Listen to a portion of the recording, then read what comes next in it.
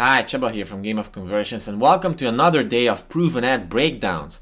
This is actually day 8, so we're starting a new week here and today I wanted to do something really special because I'm breaking down Gary Bencivenga's famous Kurobuta ham ad. So if you're wondering, this is a an ad for a special type of ham which is also called the Kobe beef of pork basically and uh, this ad was so effective that a lot of people ended up spend, uh, sending Gary some letters just saying like how can you make something so effective? And today we're gonna see how this uh, copy is at least as silky smooth as the ham itself. It's really special. Uh, it's not too salesy at all uh, and it's not too long uh, considering it's a it's a full-blown sales letter but uh, I'll just show you what this whole thing is about so let's jump into the video itself so um, the first thing we can notice is that uh, this is kind of like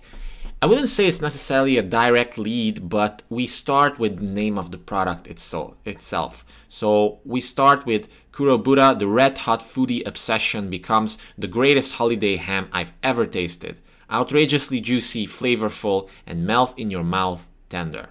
So it starts with the kind of like the product name itself, but this isn't necessarily a product. It's like a unique type of whole new category of, of ham. So um, that's why I think it's uh, it's easy to get away with it because it just creates curiosity. Like what what is this whole thing that has so many benefits to it, uh, and also this presupposes that this is something already it's something that's already very popular because it's an obsession. And you know Gary Bencivenga was huge on proof marketing. So this piece this sales letter is definitely a shining example of providing uh, a lot of proof. Yes you also give uh, like big promises and this sales letter this whole headline is basically it's a huge promise. It's like the greatest holiday ham I've ever tasted, but it's written in a testimonial style format. And everything here is just quotes, so it's basically like a testimonial.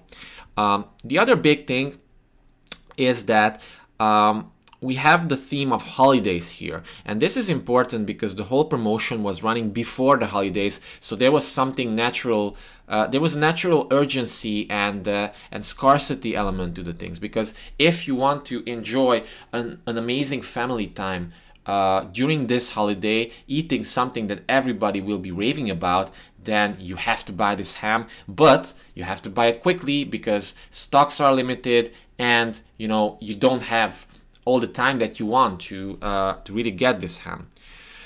The other thing I would like you to notice immediately, and this is this is true throughout the whole sales letter, is that there are amazing visual words that create tons of desire. So not many people are able to use evocative word, words like juicy, flavorful, and, and melt in your mouth tender. So I immediately start almost salivating. And this is kind of like an NLP, a neuro-linguistic programming technique in which you you really show and describe everything visually and, and in an auditive way or even uh, like as if you were touching it.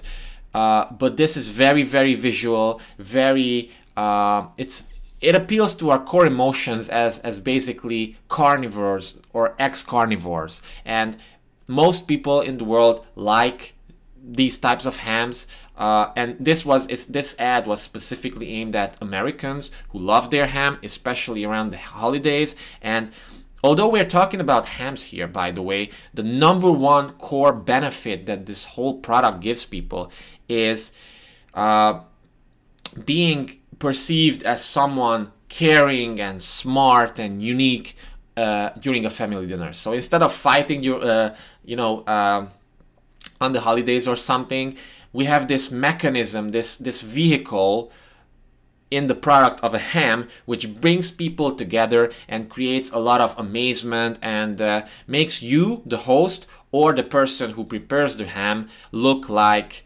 uh, a genius, like someone who has extraordinary culinary taste, who knows, you know, other cultures, and it's just, it appeals to our inner, like, willingness and, and, and desire to appease others and to and to feel like something really special. So that's the na- the number one benefit that I think that this whole ad uh, aims at. It's not the ham. The ham is just a delivery vehicle, but it's still uh, sold in a in a in a genius way.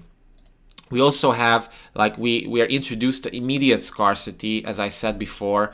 Uh, so we have a sub sub headline which says large and small hams sold out. So it's like this immediately creates a kind of uh, fear in people that they don't even know what this whole thing is about yet. They just know it's something super super nice, uh, but it's already almost over or they they've already missed it almost. Uh, so that's why they have to read it. Um, there's a bunch of notes, by the way, so maybe I won't be able to cover everything, but uh, we have a bunch of highly exclusive elements throughout the copy. So it's like tiny handful, you, you know, of Americans will only be able to savor this. So again, if you want to be uh, the elite, the initiated who knows how this super uh, nice tasting ham really is in real life, and you don't just want to imagine it, you want to taste it and you want to show it to your family, then you really have to act now. You really have to read this promotion because otherwise you'll be left out. You'll be just an average Joe, a schmuck who has regular ham, you know, and uh, you won't be perceived as the savior of the day. That's what this whole thing is about. Uh, and we all know that amazing food is, is extra important during the holidays.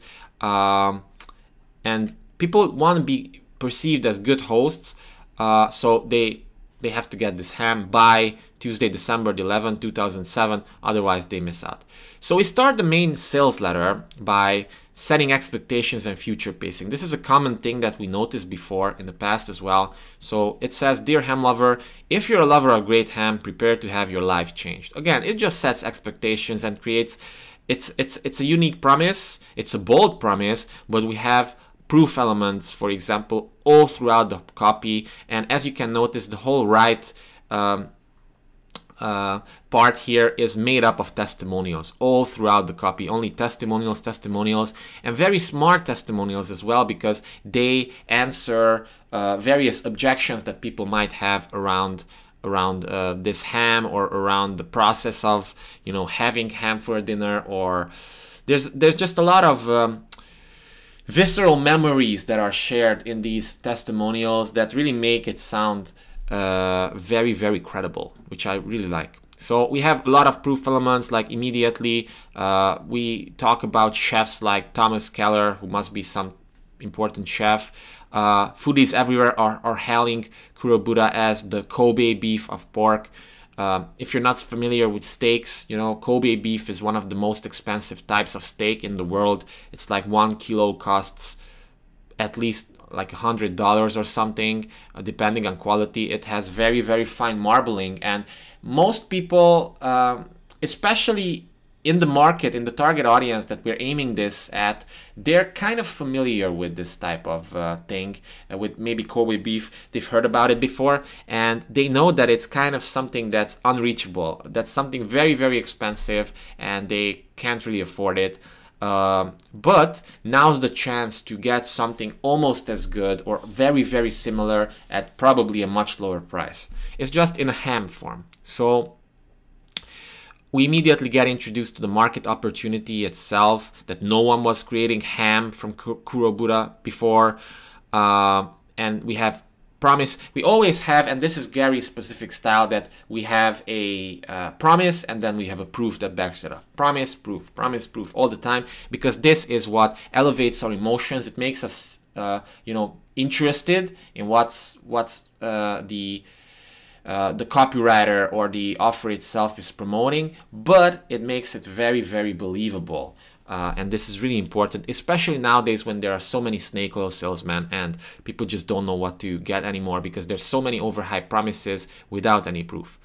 So pretty soon we get, uh, this is kind of the lead of the whole thing and we get into the start of the story which, which is kind of like a, a discovery journey that the writer itself is inviting me as the reader on. So it's kind of like Odyssey. It's kind of like, come join me on this epic tale of me discovering something unique. This is the whole um, the whole premise of the story here. And he goes on to say that, you know, a few years ago, uh, he's an expert. And again, we have a lot of proof elements here, like comprehensive ham tasting, you know, and it was featured in his publication and whatnot. Uh, and then basically the story goes that, you know, uh, this guy uh, wanted to, uh, the guru that Gary's, Gary Bencivenga is writing the ad for, uh, wanted to set out to basically discover the best pork and, and, and the best ham in the world. Uh, and he was disappointed because uh, he was trying everything but, but, but couldn't really find it. Uh, and then he wanted to find the best. And this again presupposes that he wants to give you, as the reader, the best as well. Uh, so he couldn't find a single ham that satisfied me on every count, you know, and uh, basically this whole part just just described how there was no solution to this problem He's, he was searching you know for the perfect ham the platonic ham but uh, but nothing.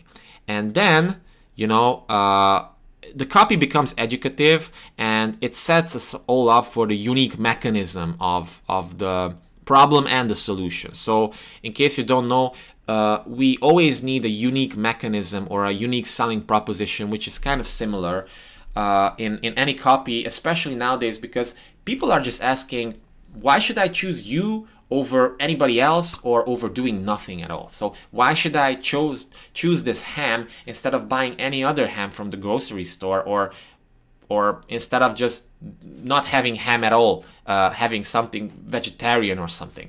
Uh, so you really, really have to separate and differentiate your product. Otherwise, it's just going to be a dime a dozen. And I really like how uh, you need, we, we set up the uh, unique mechanism of the problem first. So it goes something like this. Somebody had to do something because American pork producers in the 1990s had moved en masse to produce a leaner, drier, and far less flavorful pork they marketed as the other white meat. So the copy is ed educative. We we find out that you know uh, probably market demand has shifted pork producers from from selling uh, high fat pork because you know uh, back in those days all the rage was about you know fat is making you fat which we now now know that it's not the case at all but like in those days this was the uh, dominant and um, popular uh, dietary belief so that people and companies started responding to this demand by uh, creating uh, more uh, i mean less flavorful but leaner type of pork. And white meat you know they wanted to uh, position it more like chicken and fish probably as, as, something like more more healthy. But a pork lover like uh, like the person we have david was basically appalled from this whole thing, and he wanted to uh, he wanted to find uh, a ham that really has it all. And I really like this paragraph. It's I think it's a masterpiece of a paragraph. It says at the uh, at the head of the new full flavored heritage piggyback uh, is a Japanese breed of pig called Kurobuta, which, after being enthusiastically embraced by tough chefs like Thomas Keller of the French Laundry, has become one of the hottest foodie obsessions according to Bon Appetit magazine. Many say that Kurobuta pork is, is to regular pork as Kobe beef is to regular steak. So again, we have proof, we have promise, we have nice analogies and, and, uh, and uh, comparisons. Once again, uh, I think this, this paragraph just has it all. And then we continue with the story we get introduced kind of like to the unique mechanism of solution. So flash, a light bulb, light bulb pops up in my head. The one thing I haven't seen, however, was Kurobuta ham. So even though, you know, uh, there was Kurobuta pork, there was no ham. So this is like the big uh, market opportunity here that he's trying to um, satisfy. And he's also describing the whole process so that the whole process becomes um, credible, interesting, and it sucks people in, which is pretty cool. Uh, and we, we even have things like over delivering on a promise, but but the, Gary can get away with it because he has so much, so many proof elements that he can say stuff like, "Would I not have? Uh, would I not then have on my hands the ham of hams, the hyper ham, the greatest ham story ever told, the greatest ham what am?" Uh, so it's it's a it's a very playful thing, and it probably makes people smile a bit. Uh, but he can get get away with it because he has so many proof elements proof elements everywhere. Um, then he goes on to say that the product basically has been validated in the past. So this ham was already uh, tried by uh, his past readers, a very exclusive number of people. But now, you know, you as the reader has the opportunity, have the opportunity um, to to also you know get a get a piece of this and we have even more very credible testimonials. They're all focused around various objections that people have uh, and they also have very evocative nlp words. So we we have a bunch of things like the texture was velvety the flavor sublime one of my guests observed the meat just melts in your mouth. I want to do it again next year. Um, please so it's it's credible and it's like it, it, it, creates a bunch of desire in people. So it's very very hard to do credibility elements and proof elements which also create a lot of desire but gary managed to pull this off. So it's no wonder that he's considered the best copywriter uh, living copywriter um, at the moment. So that's that's really saying something. Then we have more like future pacing elephant, uh, uh, elements and um, we get introduced more to the uh, unique mechanism of the solution that I mentioned before. before. This is a very educative ad. Again, he goes on to describe, you know, what's actually inside the Kurobuta pork, like how, how it's made, like what's so special about it, why is it so, so superior. So he even explicitly, preemptively answers an objection and, uh, and uh, positions this whole thing as the unique selling proposition of the of the whole ad. Um, so we have even more promises. So you never get a fatty, greasy taste when eating pork. We know that this is probably important for the target audience here. Instead, the, the real distinction of Kurobuta pork is a shorter, rounder muscle fiber, fiber, which incredibly leads to a much higher retention of moisture in the meat. So again, it's just this is also called reason why copy in a sense, and this is also one of Gary uh, Bencivenga's specialties because he goes into explaining how the mechanism itself works, why it's so good, the reason why this ham is really, really special. Uh, and this, again, creates uh, rapport with people. It makes it seem believable and, and, and achievable and valuable and uh, all these things that are needed to really hype up uh, an ordinary product let's say because yes it's it's a special type of ham but at the end of the day it's still a ham. But by describing how special it is people you know build desire for it and then ultimately it's it will be much easier to sell them on on this whole family uh, experience that nobody will be able to forget about. This is what we're selling. So uh, we have nice comparisons everywhere like you know, as in slow growing grapes, you know, we have more flavor, we have more proof elements, we have, once again, here's the big opportunity. So no one has offered this ham before. Uh, so I'm gonna be the first, and you're going to be one of the first to uh, to have a taste of it. Um, again, why is this ham so special? Just you know, very transparent and honest, describes the entire process while we're having even more uh, testimonials here. Um, I only want to give you the best. This is the whole message of the thing that I only want to give you the best. And um, one of the testimonials I really liked is that it's a bit similar to Blue Blockers. And Blue Blockers is the uh, famous ad by uh, Joe Sugarman that I analyzed before. So I now know how ham is supposed to taste. This is also kind of like, I can't believe my senses until I try this whole thing uh, it just creates, it just sucks people in even more. Now, there's an improvement opportunity that I think, you know, nowadays if you were to try this ad, it probably won't work so much. Uh, it, it could still work. I mean, it would still be better than most e-commerce companies, definitely, infinitely better. But, you know, it says that in my name raised on traditional corn and soybeans to uh, an Idaho smokehouse. So, you know, nowadays it's not so... Uh, um, it's not so advisable to advertise your product eating corn and soybeans because people want to shift away from these these uh, uh, big crops that you know everyone everyone's putting in everything. They want grass fed grass finished uh, meat and uh, they want something which is more uh, organic. And obviously this is also probably organic and uh, you know it later on it highlights how you know this these these animals are like pasture raised and something like that.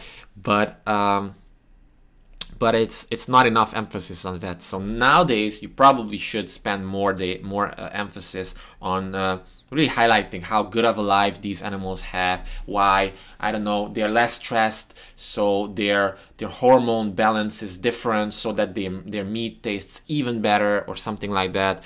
Uh, or I think with Kobe beef, they eat like olive oils or, or olive olive uh, olives or something. I don't know exactly, but but something like that. They eat something really special, and that's also what uh, is the reason why behind they're so uh, expensive.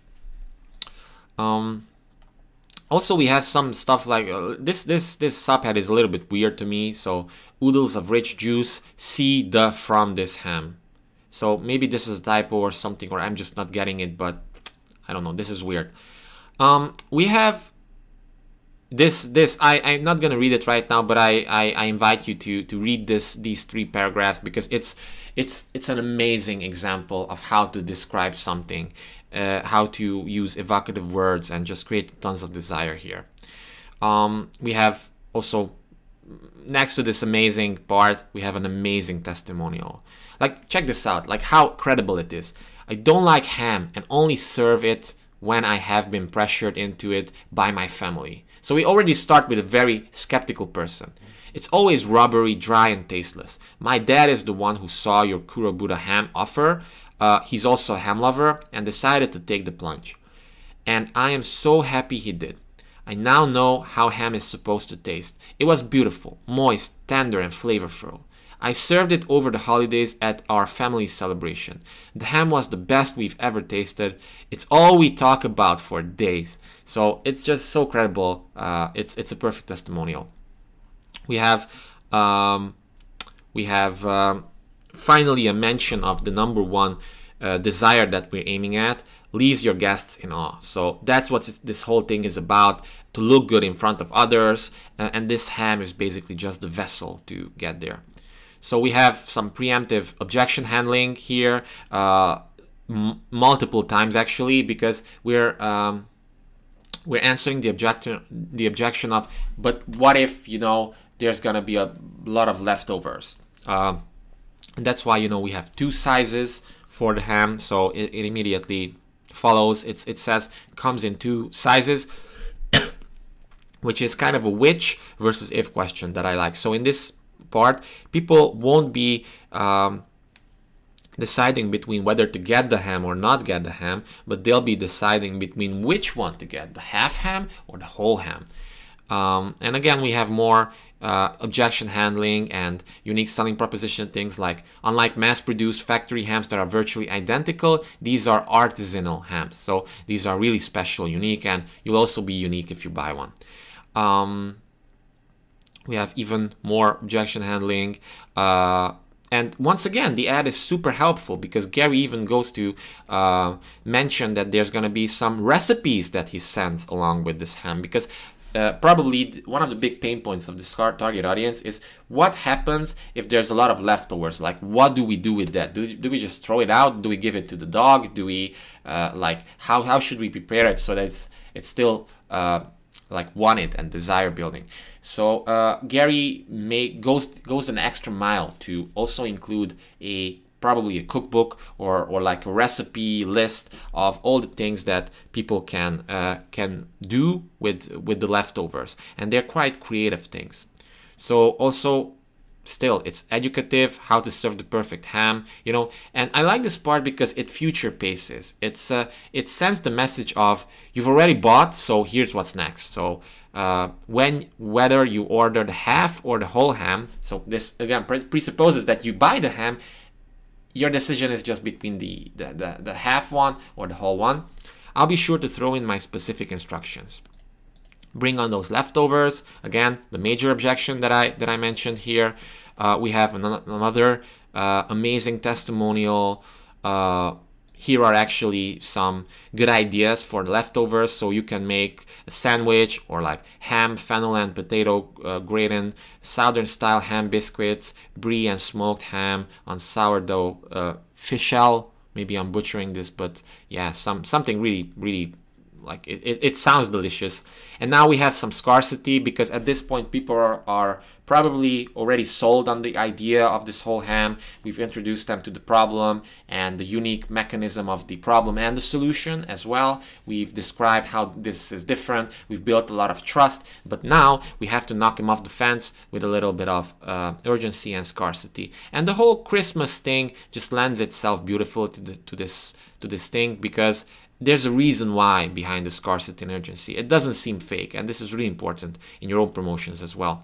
So, um, and I like this this this paragraph here. It says, if you want to serve something truly extraordinary this holiday season, and then let your family and yourself enjoy the most heavenly leftovers for many days to come, I urge you to place your order now. So again, to me, this this means that instead of in like what happens most families unfortunately. Instead of fighting amazing family time together that will be the result and everyone will be grateful to you the buyer or the one who prepares the ham itself. So uh, you'll be the hero and everybody wants to be the hero. So he, this is the place where we have the cta box. This is just a sign off form and uh, in the ps we have a, a no risk money back guarantee. So it's uh, Actually, this is one of the improvement opportunities that I that I would probably do in a in a newer version of this offer. I would probably test it to have a more um, have a more irresistible type of offer. Like there's there's a specific offer structure that you do,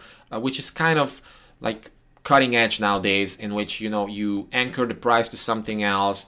Uh, you uh, add on bonuses, you layer on proof elements. You there's a specific way on how to uh, like lower the price and to um, to uh, mention the guarantee. And it's not always needed. Uh, probably it's not really needed for this one but I would definitely test it to see to Im improve that because nowadays uh, people are even more skeptical and um, you really have to go the extra mile as well to differentiate your product. So at the end you know um, we just have enough knock them off the fence element because it says yes it can be very expensive to ship a 17 to 20 pound ham but we've negotiated a far more attractive deal for shipping your ham right to the door. So again it's just if you're interested in this you're sold at this point and you just give an extra kind of bonus in a sense of you have not free shipping but like almost free shipping or, or much better shipping rates. And then we have another urgency reminder and some NLP language, you know, benefits once again at the beginning because this is what people will remember as the last part. So tender as you will taste for yourself. So yeah, uh, I, I really encourage you to read this whole promotion from beginning to end because it's just buttery smooth and it's you know the, the, the cool thing about this is that it doesn't sound it doesn't seem like like deliberately powerful copy and that's the best type of copy. It doesn't seem try hard it's it's not like you feel like the copywriter was really really trying hard to convert you or something. No it seems very laid back very interesting uh, credible and something that just you know holds your attention. And that's the hardest type of copy uh, to write. And uh, that's why Gary was so uh, advanced in this regard because it takes a lot of effort to really uh, narrow down your whole uh, sales message so that it's consistent and there's no fluff in this whole thing it's just exactly how much you want to say exactly how you want to say it so that people actually take you up on the offer so uh, thank you so much for watching this video. If you're still watching this, then leave a like below because that really helps these videos rank higher and reach more people. Uh, and if you found it helpful, also consider sharing it with other people in your team or friend or someone who's interested in these types of things. And also leave a comment below and let me know your number one, uh, the number one thing that you learned from this uh, ad. I'm really curious because there's so many things going on here and I'm just a big uh, big uh, fan of Gary Bencivenga and I really want to know like what connected with you the most. So thanks again for watching and see you tomorrow.